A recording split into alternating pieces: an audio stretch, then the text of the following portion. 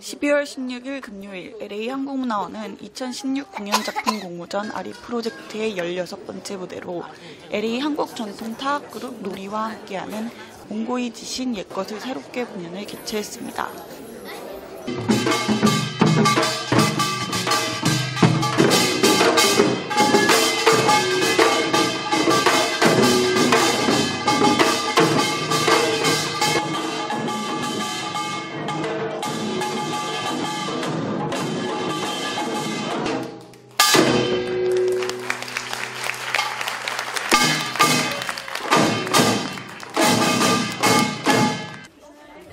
사물놀이의 매력이라고 할 수 있는 거는 사물놀이는 가죽악기 들어가고 금속악기 들어가는데요.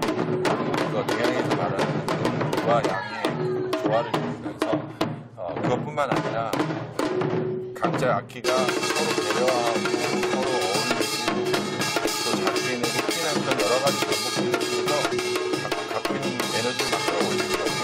굉장히 다이나믹하게 만들어내면서 그 에너지가 막 폭발할 때 그, 그 폭발하는 것들을 딱 터뜨리고 마는 게 아니라 한꺼번에 다시 감싸서 시작한다.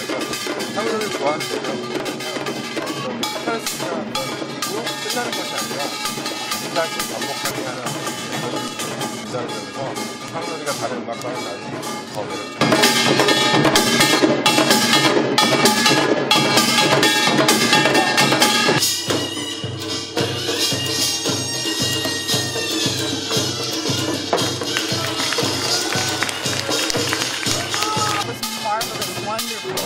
Um, I really felt the soul of Korean culture tonight here. I believe when the drummers elevated the sound, the, percussions elevated the sound, they really it took me into another world, another place. So I did close my eyes. I did feel it in my body, and the sound of the music is still with me to this day.